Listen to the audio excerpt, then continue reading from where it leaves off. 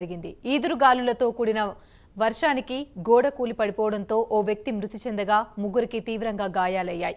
గోడ పడడంతో ఒరిస్సాకు చెందిన ప్రఫుల్ల మహాకూడ్ మృతి చెందగా మరో ముగ్గురికి తీవ్రంగా గాయాలయ్యాయి. విషయం తెలుసుకున్న పోలీసులు హుటాహుటిన ఘటనా స్థలానికి చేరుకుని క్షితగాత్రులను ఆసుపత్రికి తరలించారు. అనంతరం కేసు నమోదు చేసుకుని దర్యాప్తు చేపట్టారు.